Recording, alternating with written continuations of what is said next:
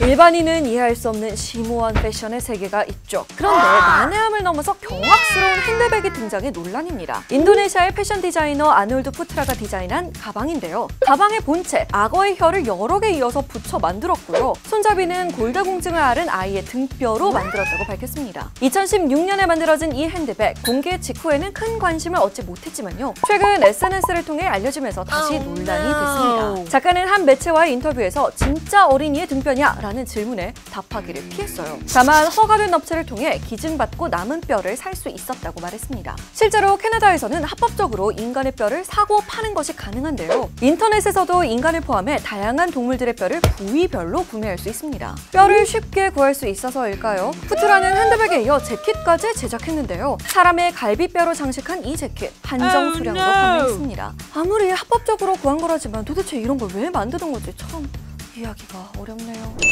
최근 야구 팬들을 설레게 하는 소식이 있었죠. 바로 프로야구 개막! 코로나19 매뉴얼을 지키면서 무관중 경기를 진행하기로 한 건데요. 개막을 앞두고 연습 경기 중인 팀들 그 현장에 가보니까요. 마스크 위에 마스크를 쓰고 위생 장갑을 낀 심판, 거리를 유지하면서 인사하는 양팀 감독들, 그물망 인터뷰를 하는 선수까지 다들 예방 수칙을 잘 지키고 있었습니다. 그런데 선수들이 깜빡한 한 가지 바로 침뱉기입니다. 코로나19 바이러스의 주요 전파 경로가 비말이라는 점을 생각하면 위험한 행동이죠. KBO는 선수들에게 침뱉기와 맨손 하이파이브를 금지하고 있지만요. 이게 권고사항이라서 어겨도 징계를 받지 않는다고 해요. 선수들의 침뱉기, 우리나라 해외 가릴 것 없이 자주 보이는 야구장의 흔한 모습이긴 하죠. 선수들의 말을 들어보니까 야구 경기 특성상 긴장을 자주 하게 돼서 침이 잘 고이고 흙먼지도 많이 마시게 돼서 그렇대요. 바이러스 확산 방지 때문이기도 하지만 지켜보는 사람들이 많잖아요. 조금만 더 신경 써주세요.